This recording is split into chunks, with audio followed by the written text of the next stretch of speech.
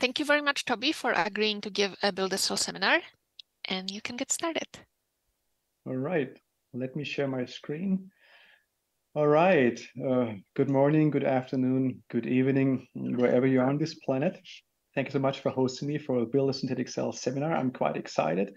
And I'm not sure what I can tell you about building a synthetic cell. Uh, I think we haven't achieved it yet, and we are far away from achieving that. Uh, I'm just one of the PIs trying to at least achieve a little bit of uh, on the way, right? So, um, and I'm currently at the Max Planck Society. It's a fantastic place to work at because it allows us to do basic research uh, almost without any limitations. Uh, it's really a great opportunity for us and for my team and me really to uh, to really uh, do science uh, in the broadest sense and with a big vision.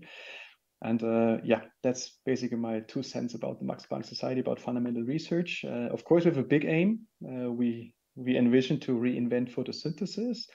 Um, but beyond beyond this big aim, there's a lot of things I think of fundamental research we still have to achieve. and I think in the next hopefully 30 minutes, you'll get a sense of uh, what we are trying uh, to do here in our lab in Marburg, which is close to Frankfurt. So if you ever fly by Frankfurt Airport, you stop by and can say hi. It's approximately an hour and uh, 20 minutes if Deutsche Bahn doesn't run late, which unfortunately does it quite often these days. So German accuracy and engineering has a hard time, at least in terms of, uh, of the infrastructure. All right, let's get started. I called my talk Building Complexity Out of Thin Air because this is what it is.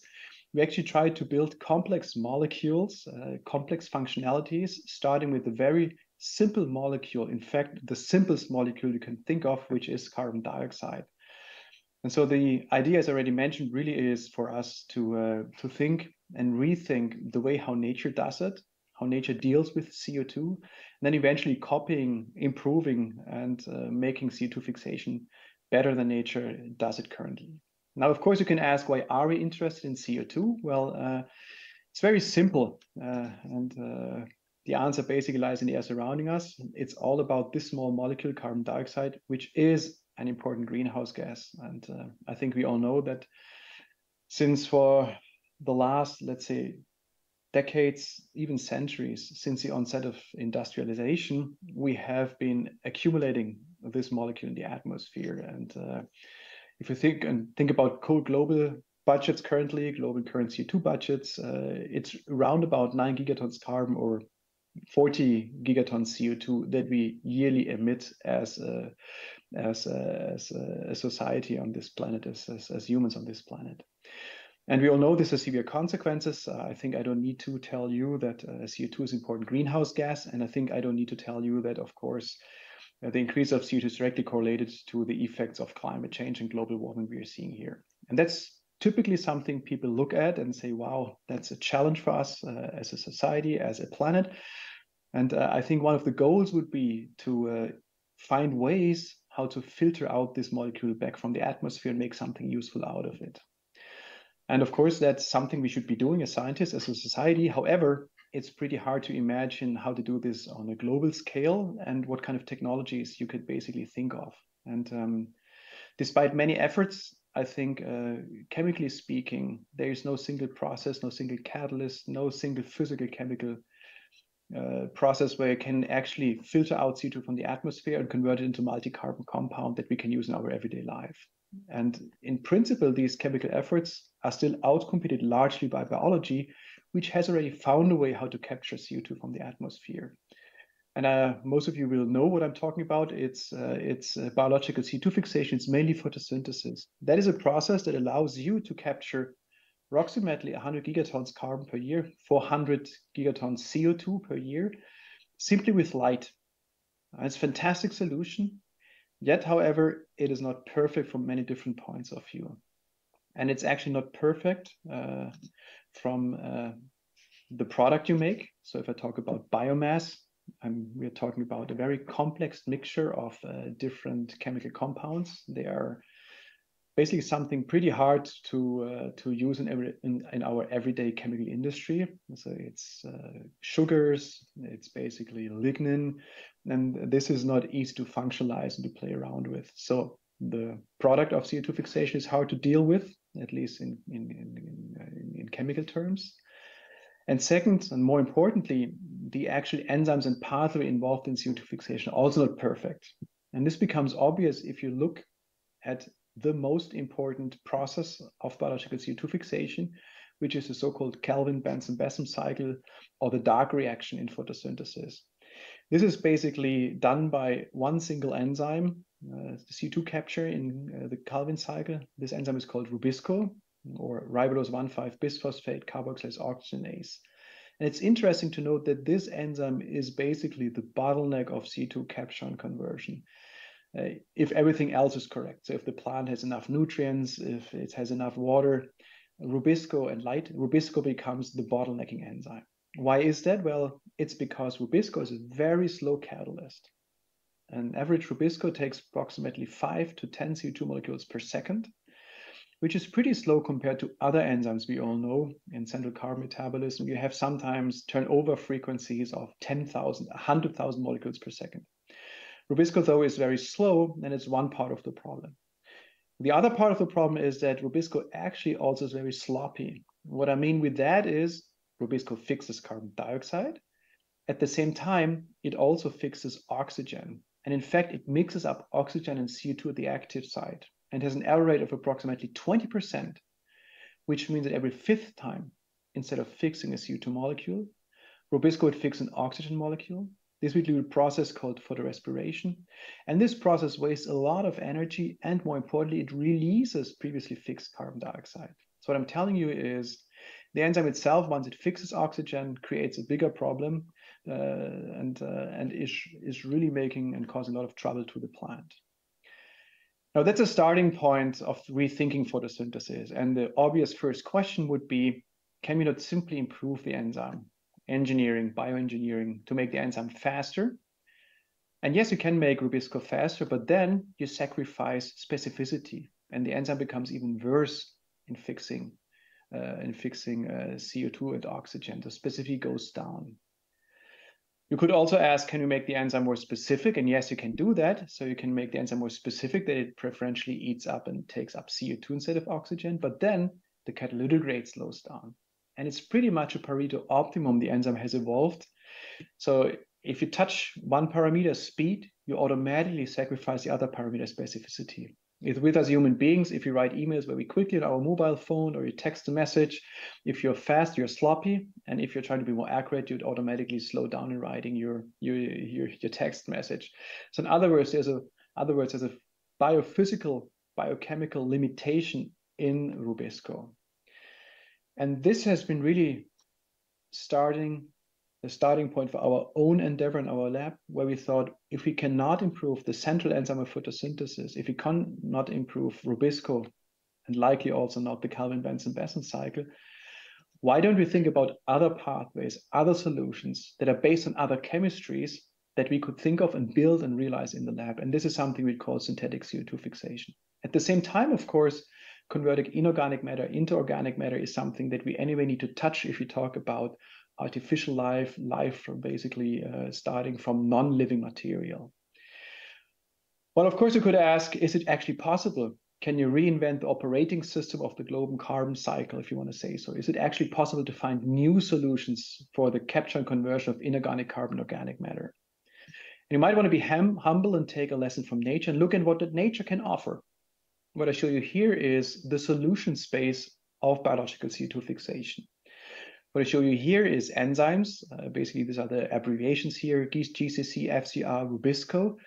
And you see the nodes which connect and build the metabolic network and the metabolic pathway. And you see here that plants have evolved basically two ways to fix carbon, or one way, the Calvin-Benson-Besson cycle, and there's a boosting system called the C4 or CAM pathway. But you also see is microbes have invented six other pathways for CO2 fixation. And so it's interesting that during evolution, nature apparently explored multiple options. And as a biologist, I'm very excited and very uh, flattered or kind of uh, looking at those different solutions that nature has explored during evolution. So the landscape is actually very exciting for me as a biologist and amazed by this biological diversity. Well, if I look at the same landscape as a synthetic biologist, I actually see a lot of void space and I see a lot of solutions that nature has apparently not explored. And this is just flipping in those different solutions we could think of, different pathways, different enzymes that would also allow us to fix carbon dioxide. And this is exactly what we try to do in our lab. We try to build those solutions that nature has not explored to populate the landscape and to test which of these solutions we can actually realize and which of these solutions we can use in the context of a cell, be it natural or artificial. I want to make a small distinction between metabolic engineering and synthetic biology. So typically, metabolic engineering takes existing solution and tries to improve it, whereas synthetic biology really for us is to build a new to nature solution that we have not seen existing in any biological system yet. And this is exactly what we are striving for. Or to give a different example, um, think about how we ended up at building an airplane. We actually took inspiration from nature. We looked at birds. We understood bird flight, the principles of Auftrieb, as you say in German.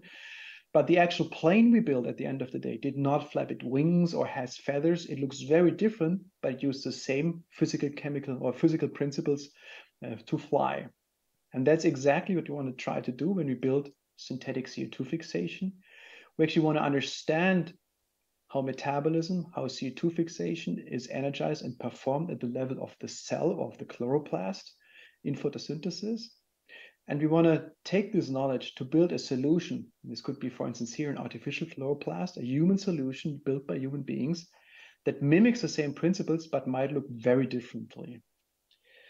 And how we're going to do this is a, in a very straightforward workflow manner. So we want to first design new to nature synthetic pathways, find an really efficient CO2 fixation metabolic network. You want to go ahead, find individual parts, which means the enzymes and proteins to build the actual system. We could call it the molecular system. We could call it the metabolic software. Uh, we try to optimize the system and the parts in, um, in, in, in different rounds. And once we have a stable uh, metabolic software or operating system, we try to implement it inside of a cellular context, a cellular hardware, if you want to say so. And this could be natural or an artificial cell. I'm talking about the artificial cell, maybe or an artificial cell-like context uh, in a couple of minutes. And of course, a big goal would be then after prototyping uh, to even move forward uh, in terms of living systems to also move some of the metabolic solutions inside of a real world organism like a plant. All right, so let's get quickly started. How do we sign the synthetic CO2 fixation cycles? Where we take a process uh, that uh, you probably know if you're a chemist and familiar with chemistry, is called metabolic retrosynthesis. It's basically thinking about potential, hypothetical, theoretical conversions of metabolites and fixation of CO2. what you see here is a couple of these solutions. Uh, for instance, a catch cycle we have published around about seven years ago, the HOPEC cycle we just published this year. So a couple of different solutions that all look very differently in terms of their chemistry. And what I mean here is the different metabolites, they have different transformations, and so they're all different in terms of the topologies. At the same time, all these different solutions also have some common principles. And one common principle is that all of these pathways, at least those shown here, are cycles, which means that the product of a CO2 fixation step shown in red uh, is turned around to become again the substrate for a CO2 fixation step. Or in other words, you can go in round and round and round cycles to continuously fix CO2. And that's the principle of a metabolic cycle. So the first principle, a cycle, a cyclic process. The second common principle is that you have a valve reaction, a reaction where you can split off some of the fixed carbon and you can take it out of the cycle to make a multi-carbon compound molecule. For instance, pyruvate, it could be malate, it could be glyoxylate, a small carboxylic acid, for instance, in terms of the catch cycle. And this would allow you to build the biomass or to build a product or to feed a synthetic cell. You basically have converted CO2 in a continuous fashion into a simple building block. Well, these are different solutions I show you, and at some point you need to decide which of these solutions is actually a good one. You need to have evaluation principles, principles to look at those different solutions. And what we use are very simple physical chemical criteria. And we ask, first of all, which of the cycles we have thought of would be a very fast and efficient cycle. In other words, which chemistries would allow us to have high turnover rates. And one example is shown here, the catch cycle we've built again, like uh, in 2016.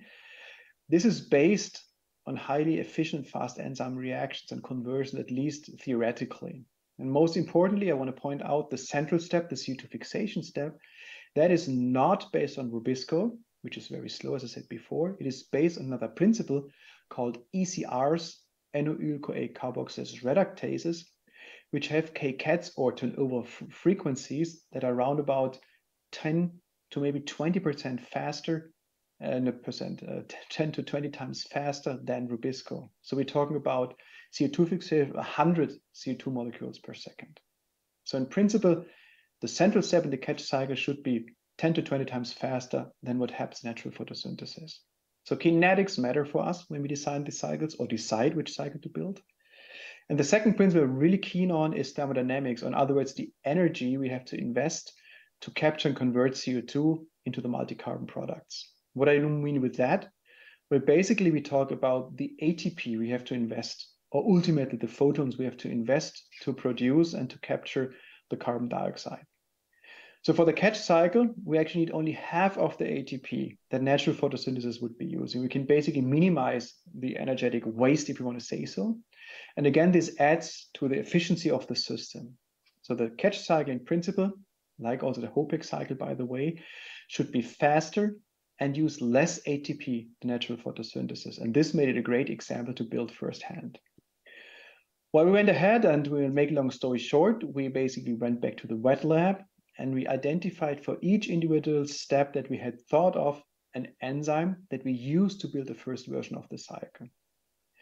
Well, it looks simple on the paper, uh, but in fact, this slide has taken us probably one or two years to find for each individual step a good catalyst, a good protein, a good homolog, which we could use to build a first version of the catch cycle. And in total, we used 15 different enzymes. We tested approximately 60 to 70 enzymes and enzyme variants to build the first version of the catch cycle. These organisms, or uh, these enzymes are from very different organisms. You could think of like uh, from different bacteria, archaea, even uh, enzyme from the human liver. And we actually had also to engineer one enzyme to build and to construct and close the cycle. But we could actually really show that once we had all the 15 enzymes together, we put everything into one Eppendorf, we add the green compound called propionyl-CoA, then we basically added chemical energy, ATP and ATPH, and the system started to capture CO2 and convert CO2 into malate. And this was really breakthrough for us at that time because it told us you can really think of a new metabolic system. You can go back to the lab, you can build and realize it, and it's actually functional. We were pretty excited about that because I think it's the first human-made uh, uh, CO2 fixation pathway. It adds to the seven natural solutions but we also got a little bit disappointed when we realized how bad the system actually performed. What you see here is the CO2 molecules per acceptor per minute or hour actually the system was fixing. So in other words, we had built a system, a system that was fixing CO2, but it was very, very slow. And in other words, if you look at this picture here, we'd put a foot into a base camp. We had basically established a first version of the cycle but we were far from reaching the optimum. And the next couple of years, we actually had to spend quite some time to optimize the system for different rounds of evolution, version 2, version 3, version 3.1, 3.4, and so on and so forth.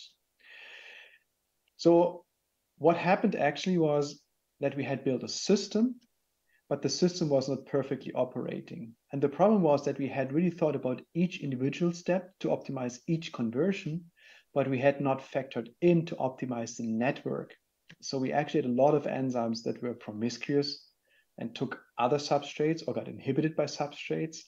Uh, we had fall off reactions. We basically had a big mess. And we, again, as I said, building metabolic complexity does not mean to take the best parts, but to build the most robust and most best functioning system. And I think it's a system optimization or the part optimization.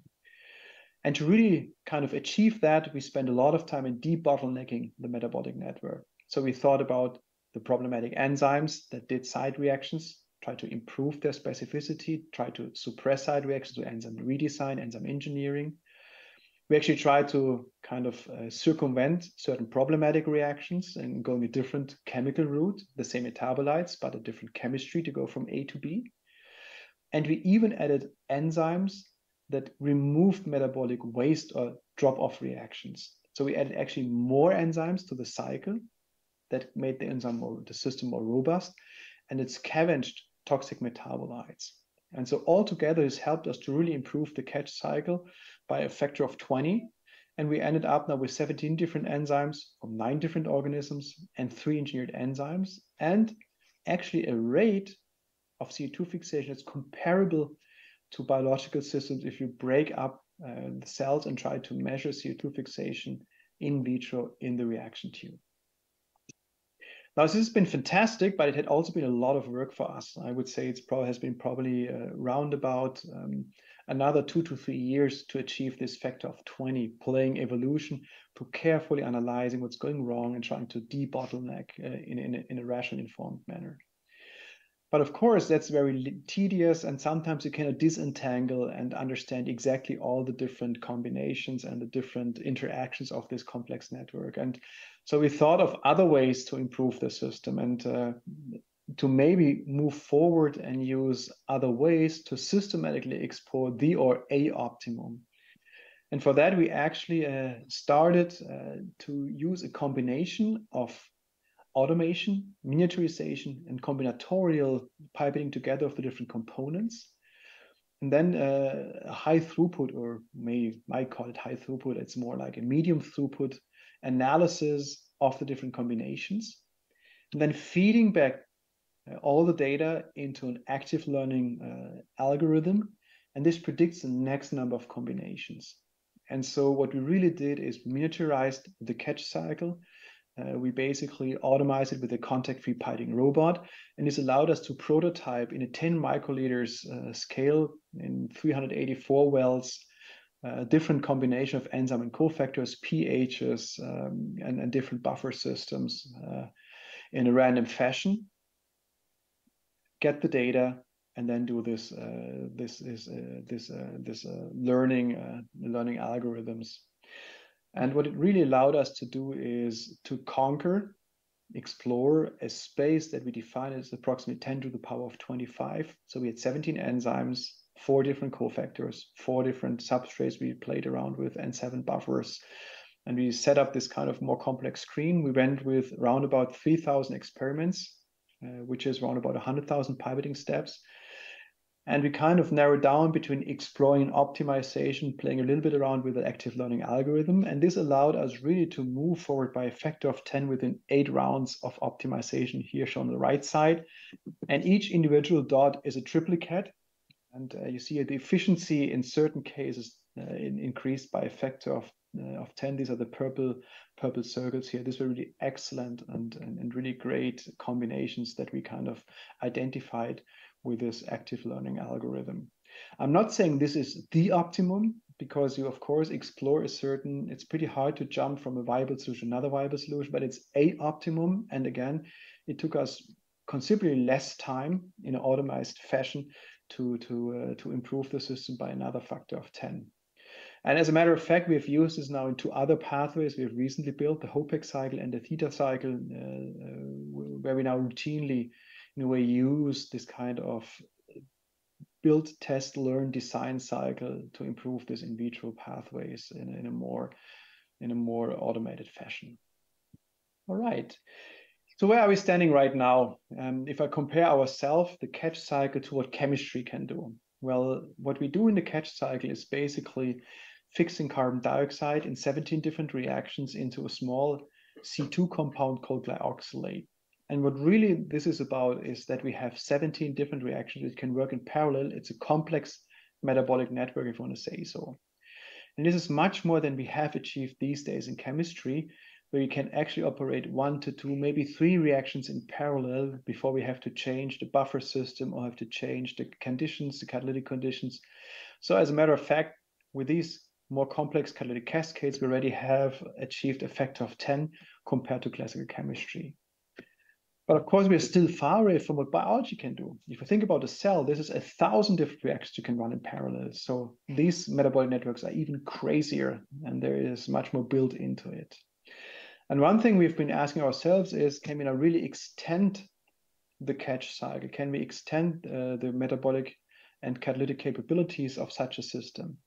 Could we think, for instance, about building more complex molecules, let's say polyketides, there could be antibiotics, fungicides, or anti-cancer drugs, high-value compounds directly from CO2, starting off, for instance, from glyoxylate. And uh, we actually have taken on this challenge and we thought about doing that. And one example we've chosen is basically the molecule shown down here, which is called 6-DEP or 6-deoxythreonolide B, which is the core of erythromycin, a very important antibiotic.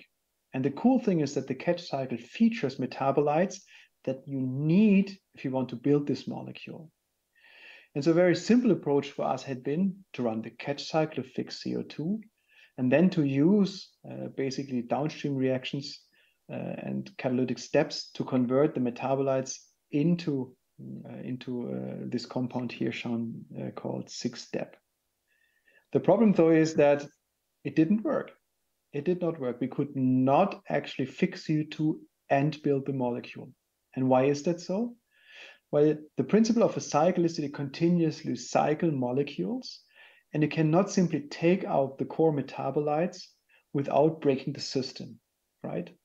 And of course, on the opposite, if you keep the system turning, uh, you cannot build the molecule. So in other words, we basically led to the fact that we neither fixed CO2 nor we built the molecule because the two systems are independent on each other.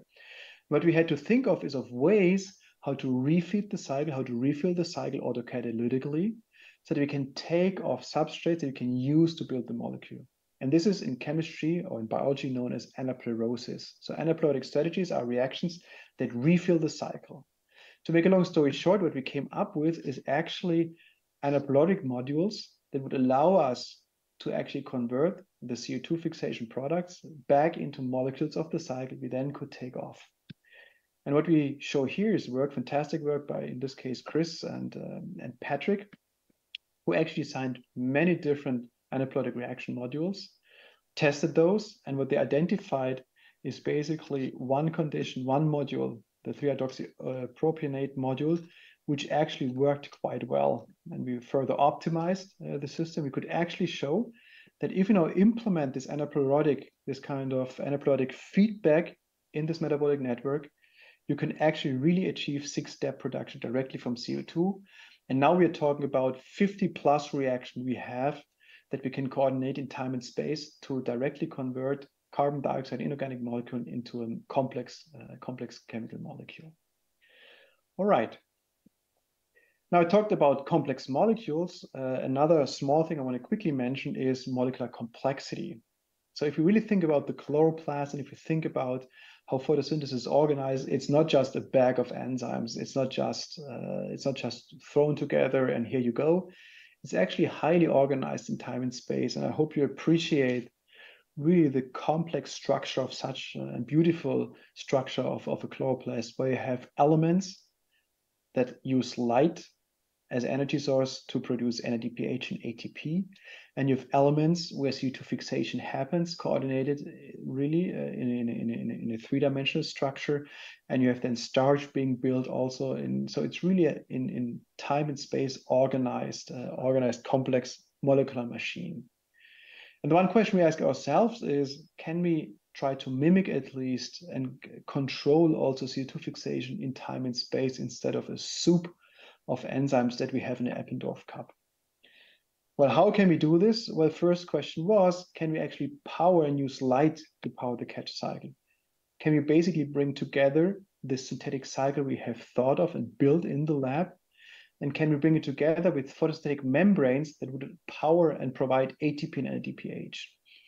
And so first step, really simple, isolate thylakoid membranes, photosynthetic membranes from spinach, put it together with the catch cycle, and surprise, the system did not work. So we did not see any CO2 fixation.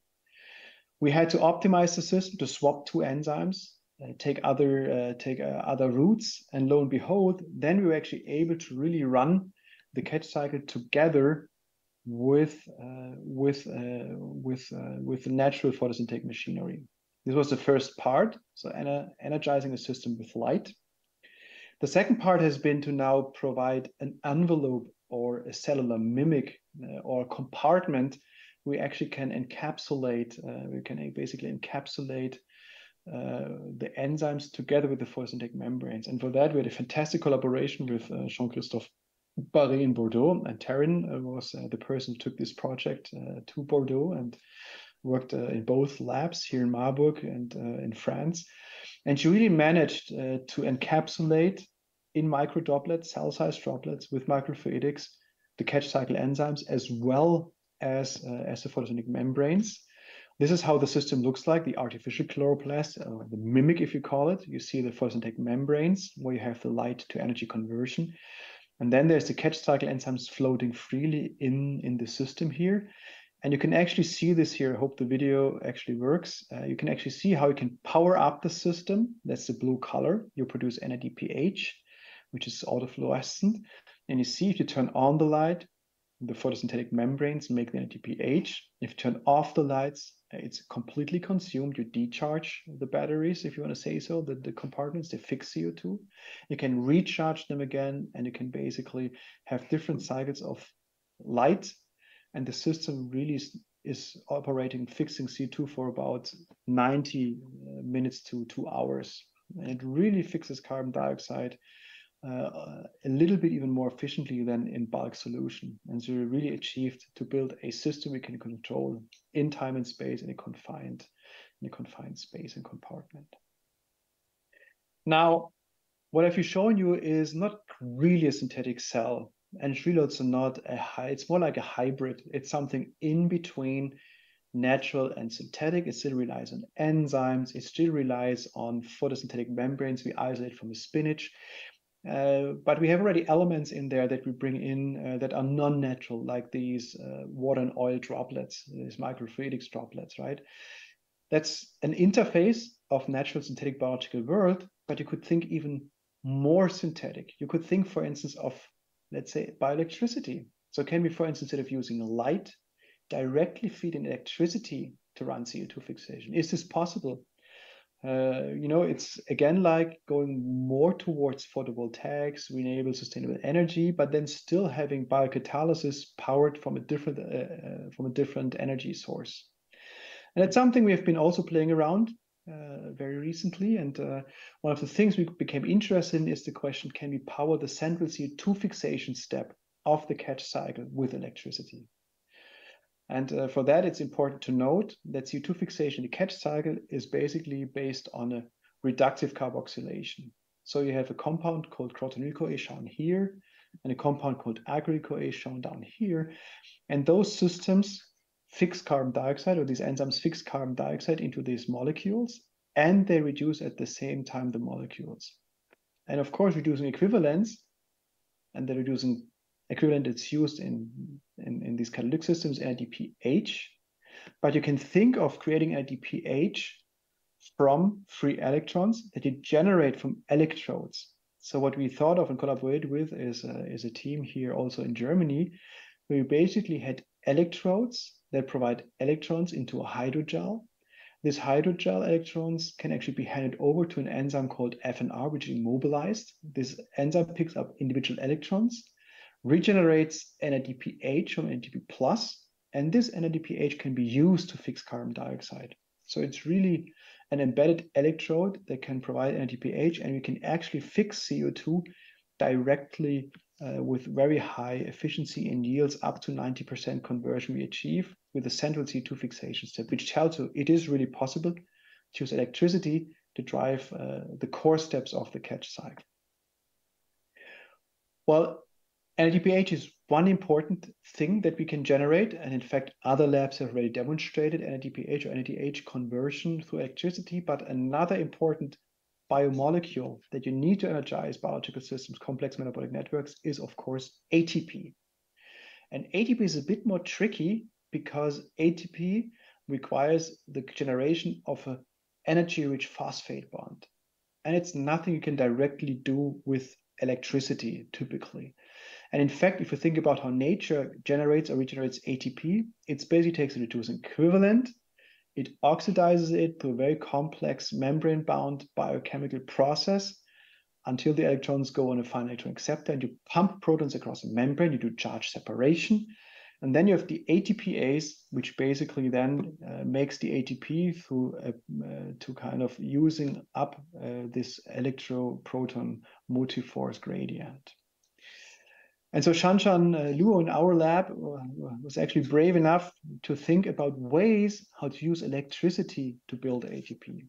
And she had basically uh, three or four different uh, uh, kind of goals in mind when she tried to think about the synthetic biological solution. She first thought of a membrane-free system. So don't use any membranes if possible, because this is just too complex to build in the lab. And I think many of you that work on membranes know exactly how complicated it is to rebuild a respiratory chain or such a complex chain of events. The second, uh, the second goal she had was basically to have a minimal set of components to use, because the uh, uh, the easier, the more less complex the system, the more robust and likely is that you can build it, right? Then we wanted to actually build a system that we can also use to hook it up to downstream molecules and downstream reactions. Let's say the system should be compatible with in vitro biocatalysis and biosteps. And of course, energetic efficiency should also be viable at the end of the day. Now, this is what Shanshan at the end of the day came up. It's very exciting. What she found was actually an enzyme that is able to directly reduce carboxylic acids into aldehydes. It can use acetate and produce acetaldehyde can use propionate and make propionaldehyde. And it can do so by using low potential electrons. So electrons that are on the level of, let's say, minus 0.6, minus 0.9 volt can be used to actually reduce a free carboxylic acid into an aldehyde. And then she thought about actually closing the cycle and reoxidizing the aldehyde back into a free acid. So to create a continuous cycle in which you can power the reduction of propionate to the aldehyde with low potential electrons. And then you can oxidize the propionaldehyde back to the propionate, produce NADPH, and notably kind of regenerate ATP. Lo and behold, you could actually show that the system works if you add, for instance, uh, low electrons with titanium-3, but you could also show that you actually can use electrons from an electrode uh, through ferrocenium as a mediator, and you can actually really build this cycle and the cycle is able to pick up free electrons to make ATP, and this ATP can use, for instance, to activate glucose to glucose 6-phosphate. So you can really run a biochemical reaction, ATP-dependent biochemical reaction with this uh, electricity setup. And she went even a step further. It was fantastic collaboration with actually a couple of people in our lab. We could show that you can actually also use the ATP for in vitro transcription translation. So you can basically set up a complex in vitro transcription translation system and swap out the ATP by ADP. And you can power ATP formation with electricity. So you can make the RNA or the mRNA. And then you make also ATP that you can use to do the protein translation. And so what you actually show together with other people in the lab is that you really can produce a fluorescent protein directly from electricity as energy source. I think that's really fantastic for us to see that such complex techno-biological hybrids are really possible. For sure, it's not perfect, and for sure, the equilibrium is not playing into our favor, but we have at least a first proof of concept we can work with in the future. Now, lastly, I want to quickly move to another ongoing project in the lab, and this is done by Simone, who actually asked himself, now we have built all these complex metabolic networks. Everything is fine and super fantastic, but we still need also to factor in reaction and decision making. Networks contain information, and information means that we can react to things we build with these networks. And so what he really became interested in is asking is asking himself, can we actually connect metabolic activity and genetic readouts? In other words, can we actually use the catch cycle to produce elements that then would lead and give us the opportunity to do in vitro transcription translation. And what he actually figured and thought of is that the output molecule of the initial catch cycle is glyoxylate. If you take glyoxylate and you further convert it into a, and aminate it, you convert it into glycine, which is an essential amino acid. And then he thought about using a pure system, which basically is relying on amino acids, and just take off glycine. So it's a pure system without any glycine. So you don't have any readout because you lack an essential element of, trans uh, of translation. Unless, of course, unless the catch cycle is operating, fixing CO2, and you have an enzyme that does the glycolate to glycine conversion, then you make glycine, and then you actually can operate the genetic network, uh, the pure system in vitro. And this is exactly what you see here. So if he adds, uh, if he adds uh, this GGT1, which is the aminotransferase, and he actually starts the catch cycle, you see that only then you produce uh, you produce uh, you produce the readout uh, and you produce a, the fluorescence protein. Now that's cool. You can think even crazier. You can, for instance, make the catch cycle limiting and take away enzymes it needs. And you can let the catch cycle simply run and you have an autoclatic mode that let, can let it produce its own aminotransferase to propel and autocatalytically improve activity of the cycle. That's something is also built, a feedback, positive feedback loop. And I think that's really one of the first steps where you really can show that metabolic networks can start to coordinate and be coordinated with uh, with genetic networks. And uh, I think that's really a step forward for us in terms of really building systems, metabolic networks that can be uh, that can also make decisions at some point in time. Okay, all right. So that's it. Um, I think what I want to also mention here is that everything we're trying to do in Marburg uh, is basic research still. Uh, I've talked about new to nature pathways, decision making, droplets, artificial globules, but you know everything we have been built is still very fragile. It's uh, it's still far from being perfect and robust. It's still far from being a, a perfect cell, perfect system that we can use at a large scale. But I think what we really aiming for is understanding how to build such complex systems, how to coordinate them in time and space, and how to build more more complexity and uh, also really make metabolic networks and decision making uh, and energy energy uh, systems that can power uh, complex transformations. And i think that's the core. At some point if we want to run artificial cells in the future it's really that we gain a lot of insight and the application is somewhere down the road and i think we still have a lot to learn and it's much more complicated to build than just to analyze it's also a lesson i have learned okay well, I hope I could show you that we basically have this workflow in the lab. Uh, we are working towards different solutions, uh, different things that we call artificial cells. I did not talk about our efforts to also reprogram living systems with our networks, but I think uh, the build a synthetic cell is more about synthetic metabolism than uh, about natural metabolism in, uh, in natural cells with that, I want to stop here. I want to thank a fantastic team. Um, I did not highlight each individual person. Uh, I mean, I highlighted uh, a couple of people along the way. Let me just tell you, it's a fantastic crowd. Uh, they're really working hard, and there's much more going behind the scenes. A lot of non-published stuff, uh, not everything on the web page. Um, and I'm really blessed with so many motivated people. And uh, I, I'm, I really could not have not imagined when I started my lab that I would work together with so many smart people that push everyday science and me also. And sometimes uh, I, I'm really just amazed by the solutions they find in the lab, and I can just comment on it. Uh, but I think that's the evolution of a lab, and so evolution of me as a scientist also. That the next generation is anyway better than me. So that's it. Thank you so much for attention, Kate, and uh, everybody else uh, uh, online. And uh, I'm happy to take your questions. And uh, I think I stopped sharing my screen maybe. Thank you so much, Toby. That was fantastic. There are several questions in chat. Um, can you see chat? I can open the chat. It's seven, I think, in total. All yep. right. If you could read the question out loud, uh, that's going to go for the recording. Sure. So the first question is, uh, excellent work. Uh, did anyone try to express the whole catch pathway in vitro? Okay, if you really mean in vitro, that is really very, very complicated. As you might imagine, 17 enzymes, a lot of resource competition.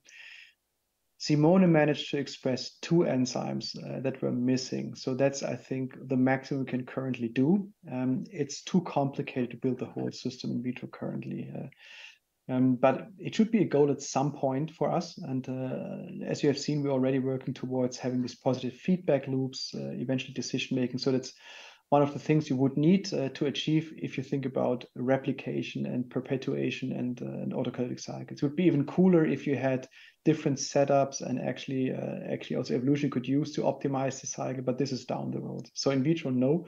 the full cycle, not individual parts, yes. Okay. Uh, if you if you just want to comment or leave a comment on me answering the question, just type it in again. The next question was by uh, Paris uh, Simmons or Simons. Okay, in your catch optimization, did you ever try to scaffold the proteins or compartmentalize some parts of the cycle? Yes, that's a very good question. Um, so, as you might have guessed correctly, we do a lot of chemistry, and some stuff is not uh, is not compatible with each other. This holds true for enzymes which have similar profiles, where you actually have promiscuity or inhibition. So, would like to separate those enzymes or you have the formation of a toxic metabolite, for instance, hydrogen peroxide uh, we had in certain in certain cases of the catch cycle. Yeah, um, we did not use scaffolding uh, because that's something we have not really well established in the lab. We think of these principles. Um, in, as a matter of fact, we think of, uh, let's say, selective transport across certain shells or pores to separate things, but it's definitely something that will be required if you really think it through. Scaffolding alone is probably not sufficient because you still need to have a directionality if you want to guide a metabolite from an active site to another active site. So just bringing things close together is not something that will work. But what might work is, for instance, having, uh, having as I said, uh, fusion proteins uh, where you have two things facing each other, active sites, or you might even have also um, phase separation to some extent. So the things we start to play with, but if there is a great uh, postdoc who wants to pick up some of the things to improve the system, happy to to to uh, to talk to this person. All right. Uh, the next question by Tracy is: Where is the catch reaction happening in cells? Is it engineered plastids or those enzymes in cytoplasm? Thank you for the talk. Thank you for listening. Uh, so currently uh, we have two different things we have the catch cycle just in vitro uh, or in this synthetic compartment. So this is just outside of a cellular context, important to note. And for us, the question really is, can we structure it in time and space so that it's very efficient? The second part it didn't talk about is, it did not talk about is to bring the catch cycle back inside of living organisms. And we actually have started to do that. Uh, this is uh, Alberto in our lab. Uh, we actually have brought in and designed selection schemes where we can take part or the whole catch cycle, the sequence, and we can force E. coli to get used to it and use it to make a, a, an essential compound of the cell. And that's ways how we try to implement it into, into a, a living organism, right? And then we hopefully can use uh, evolution to further evolve the pathway and its interplay with the complex metabolic network of the cell. And it's not that easy, right? So it's very hard to bring these new reactions inside of a system which has a thousand or actually 3,000 other reactions uh, parallel running in E. coli. That's a big challenge. And Alberto is, is really struggling with that, but he has also made quite some progress. All right, uh, this is all very cool, but the big question, next question is what phenotypic effect do any of these have? For example, is plant growth enhanced, better higher temperature, more production fruit, seeds, original quality? Thanks. Yes, before we can answer this question, we need to bring it inside of a plant and uh, or inside of a photosynthetic organism. So our, our prediction says the following. You can fix more CO2 in time because you have a much more efficient purification reaction and you need less energy. So from both parts, you should fix more CO2 in a given time with a higher yield. So the space-time yield should be higher. And the yield you can actually predict much better because yield is really dependent on ADPH ATP you need. And there should be uh, at least an ATP con, uh, consumption factor of, of, of two better. And so that is basically the space we're navigating in. Right now, we don't see effects because the catch cycle is not implemented inside of a living organism completely. But what we have been doing, and I did not talk about this, is we have designed other cycles, shorter cycles that boost photosynthesis. And for some of these cycles, we've actually seen that they actually provide already a benefit. And this is probably the first uh, the first part you will see inside of a cellular context. And uh, of course, this gives us hope that a complete switch of photosynthesis to the catch cycle would be something we can achieve in the future, but it will be much more complicated. So it's easier to tune photosynthesis to bring in supporting C2 fixing enzymes than completely replacing photosynthesis. This would be long-term goal. But what I can tell you is that at least for certain phenotypes, you see a better uptake and a longer resistance towards uh, environmental conditions because you can operate at lower C2 concentrations. Okay. Then Ravi asks, how far is electrofermentation of amino acids and other molecules? What could be the challenges? Can we do it completely cell-free? Wow, that's uh, it's really cool. Um, I think uh, you know it's always a proof of principle, and uh, what's really the challenge is for us is to define and build a technical system you can interface with biological system. And I think there's two languages we need to speak, right? We actually have to uh, to understand uh, the coding, the polymers, the transfer of electrons, uh, and we have to understand how to immobilize enzymes, and we also have to understand how to make enzymes more robust. And everything costs money, right? So building building the uh, let's say uh, the ATP generating system is nice, but it only works in a small scale. And I think the matter, the challenge for us is scalability. So how much does it cost to make a protein that's robust? How robust and how long would the protein operate? With uh, with an honor electrode. And then there is, of course, an economic consideration you have to take into account. At which point uh, and how long do you have to operate such a system that it becomes economically viable? I think there is um, there is uh, a chance that certain systems will be viable, and the more expensive the product is, the easier it is. Um, where I see currently the advantage of of let's say cell-free biology is more like on the prototyping scheme. And I want to give an example with the catch cycle. Let's assume we had built the catch cycle in our heads and we had found the enzymes. Then taking the complete catch cycle and throw it inside of an organism would have probably not worked. But learning how the network works in vitro and which parts you need to add in certain stoichiometric amounts allowed us to make some predictions how this would be what would be required if you want to implement it inside of a living organism. So we learn already about the robustness of the system, about the different stoichiometries of the enzymes, and if the cycle uh, works at all. And I think this gives us some elements of implementation. If you look at the latest work, for instance, of the of the Jewett lab, for that matter, where they prototyped in vitro certain pathways that they then do use to implement in vivo, that's currently state of the art uh, it will take some time to provide scalable systems that we can use. And scalability always depends also, of course, on cofactor regeneration. NTPH, I'm very confident you can achieve this to some extent, um, but ATP will be more problematic. And I think these are the challenges, scalability and cofactor regeneration, which make it a bit, a bit harder to deal with. Okay. Uh, then we have Radhakrishnan. Uh, Yes. Have you looked into engineering small molecule regulations that are common natural cycles, such as TCA, into the catch cycle to stabilize potential in vivo applications? Well, that is fantastic. Um, question again can you actually use feedback systems, allosteric control, uh, to make the system more robust against perturbations? It's pretty hard to design such uh, such uh, such uh, allosteric control into enzymes, and it's actually one of the shortcomings um, of uh, of bioengineering.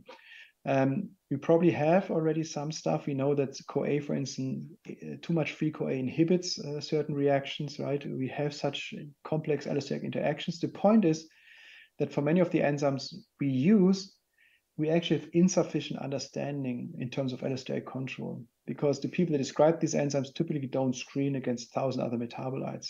And so we're a little bit blind of what we have been using. But I agree it would be important to have such systems where you can exert allosteric control. I'll give you one example. If you, for instance, have a toxic metabolite or metabolite decays very quickly, it would be fantastic if this metabolite could, could basically repress its own production and you could keep the concentration at a low concentration. It's always consumed to basically build an artificial bottleneck. And so I could think of these systems being really cool and uh, and also tuning in such allosteric control. But I think we cannot do it currently with engineering principles. I think our protein engineering capabilities are still uh, in, insufficient to achieve this level of control. But it's a fantastic, uh, fantastic idea. All right.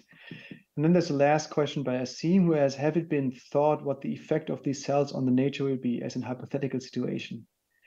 If these cells are someday able to be incorporated in the plants, what do you think would be the effect on animal or insects consuming these plants? Okay, I came across something similar with carbon capture by increasing the amount of methylation plants. Do you have any comments on this? Yes, I have some comments on this.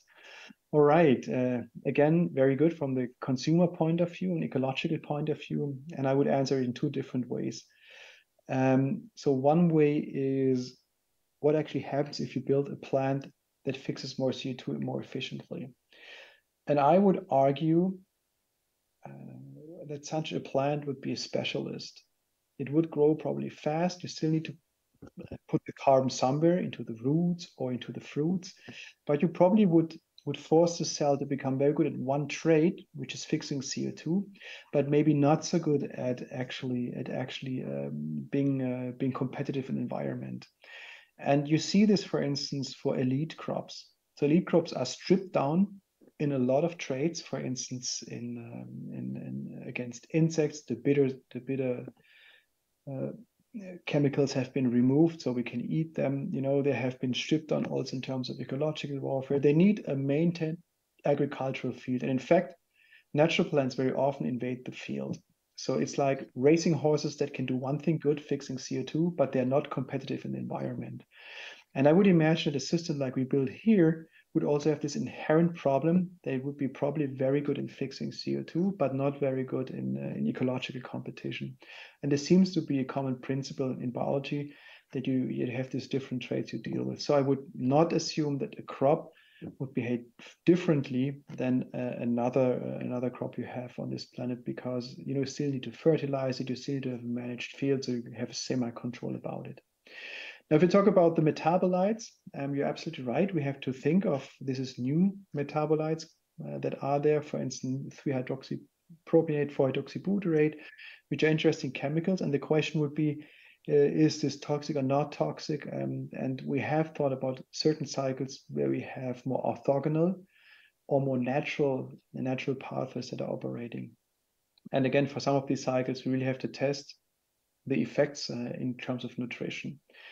Uh, that would be something uh, that I could uh, I could imagine. But then again, that's something we have to test once we have the plans. And for sure, it's in our design that we want to probably have a product at the end of the day that is actually um, is actually viable.